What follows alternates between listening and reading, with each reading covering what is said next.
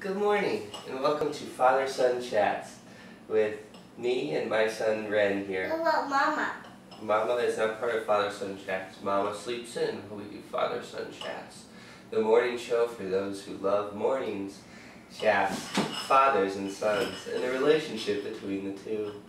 Uh, today we're going to talk about games and Hey, the relationship. talking to him. But you can't interrupt. I'm talking to the camera, uh, to all the viewers across the land who are here with us this morning, watching us chat, father and son. So, son, I thought it'd be great today to talk about the gaming culture and its relationship with the different sorts of games, and kind of maybe take that subject and pull back a little bit and examine. Um, I don't want to say maybe snobbery or uh, gaming discrimination. Okay, so first I should start off by saying we all discriminate in our lives. I discriminate uh, based on how people dress. For example, if I see someone in a polo shirt, I, I experience revulsion. But as I've grown older, I've come to realize that that is just uh, a generality. I, I take that social signal of wearing a polo shirt and think, oh, that's something that's not for me. I've experienced it in the past many times that the polo shirt has not been for me, and so I avoid it. However, that does not mean everyone who wears a polo shirt is going to be someone I don't enjoy interacting with. It's just that I've had that experience in the past, so it's a cue, it's a clue. Shift that to games. There are different types of games, aren't there, son? Ah. There are, uh, the, the, the main types people like to talk about are Euro, American style thematic games, war games, popcorn games, and social games, role playing games, story games, and they all have different um, kind of constituencies, different cultures that tend to like to play those games, but not games that are in other camps. So those games start to, to take on uh, certain clothing, so cubes versus wacky cards versus plastic versus cardboard, and people who are going to invest their time and their selves, because anything you do is an investment of some fraction of your life. People who are going to do that might be like, I don't want to invest in that because I see these cubes and I see that these are not necessarily for me. Um, and I think what that leads to is um, a sort of cultural monogamy, where the ideas kind of stay stagnant and maybe just build in particular lines. There's less um, interbreeding, less mixed mixture of the streams, right? But I also think that there are uh, oftentimes people out there in polo shirts who aren't, who are maybe an atypical example of a person in a polo shirt. Or if you just get to know people in polo shirts, I think they have a lot to offer, right? And so I have a tendency. I think people have a, have um, a tendency either towards cultural monogamy or cultural polygamy, um, or polyamory, cultural polyamory. I'm more of a cultural polyamorist. I like to um, interbreed and mix ideas. Uh, politically, in the United States, I would say the, the right wing tends to be more towards cultural monogamy, and the left wing is more to, towards cultural uh, polyamory, uh, a lot more mixture, a lot more, right? And I, I think a lot of political divisions in the United States actually are between those two, two, uh, two opposing cultural streams. Don't you? Or do you disagree? Do you have something to say about that? Seems like you want to say something.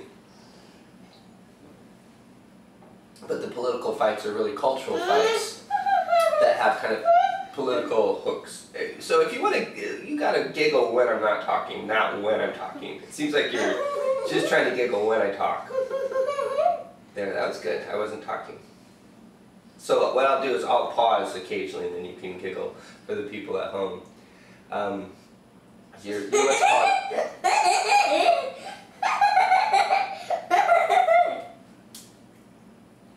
you're what's called the color, and I'm I'm the um, the, the the blabber. You you make you make you spice it up, and I bore you to tears. Um, on Father Son Talks in the morning. Uh, so Yeah, so uh, politically, I'd, I'd say most most political groups are actually more cultural groups that have these political hooks in them. Uh, yeah, yeah. So I really want you to stop doing that. Okay. Um, it's very difficult to talk with so much color. So maybe I'm a cultural homogenous. I just really want monogamous. I just really want my. I don't want to mix my idea with his idea, which is the show should just be him laughing with cereal in his mouth. Um, and I, I don't think there's there's one right answer, right? You want to have um, like good ideas should stay. They shouldn't have to be blended away, but then you have to make the judgment call as to what's a good idea. I think where you get in danger is if you go to the extremes and you think always it should be this one idea, um, or you think always ideas should be diffuse, right? You want to be able to, to have something coherent, but that is also flexible.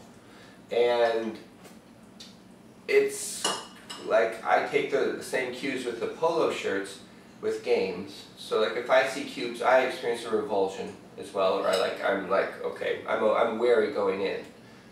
But what I do rather than just say no is I maybe learn. I I spend some time and learn more about it. I uh, recently have played a couple games with cubes. Three. I'm going to talk about three that I've enjoyed with cubes.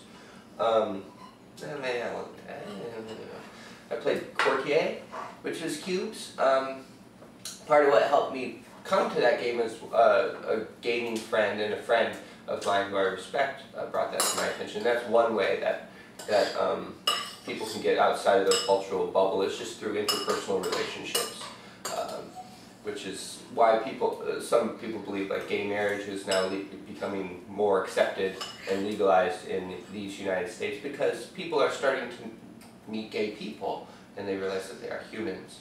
Um, so same thing with these cubes. Being gay is using wooden cubes. Um, so that was one game. Another one uh, is Archipelago, which it was kind of a similar situation.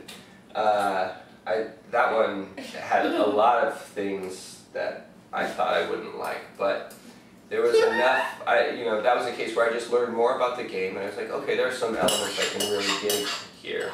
Uh, the secret victory conditions, the, um, the semi-cooperative nature. Semi-cooperative is a bell ringer for me, and something I, I always try a game that has that, because I don't think, I think all games should be semi-cooperative, which is cultural monogamy. Um, and then also the coin series. I think the people from the wargaming camp are maybe. Oh, we have to stop and finish this cereal. Alright, thanks for your time. That's all the time we have here for father and son chats in the morning with Red. Father and son chats. Yeah, that's our new show that we're doing in the morning today. Ow! Oh yeah, my funny bone. Alright, who's ready for a bath? Yeah. I already took a bath. Your turn. No, your turn. Oh. Ah.